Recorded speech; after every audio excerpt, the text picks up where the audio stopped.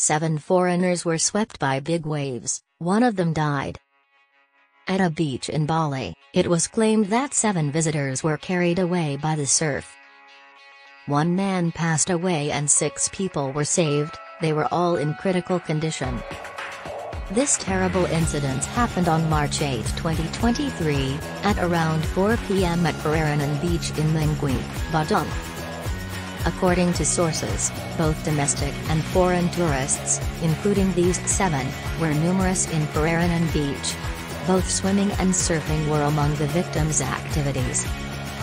The victims were surfers up until it was discovered that they had vanished beneath the waves, according to the Mengwi police officer.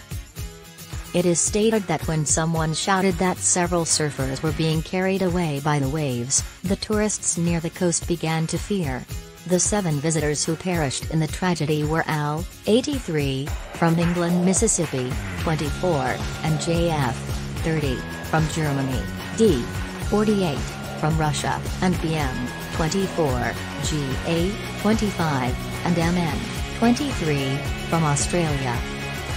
Iptu Iketik Sudana, the head of the Badung Police's Public Relations Division, verified the occurrence.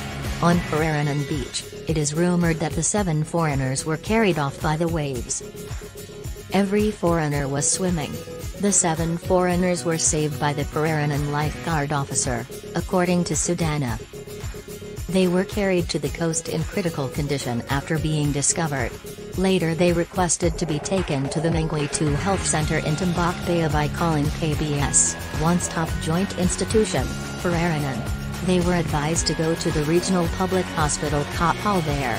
The hospital's medical team confirmed one of them dead, and the remaining sufferers are still being treated there. They are improving bit by bit, he said.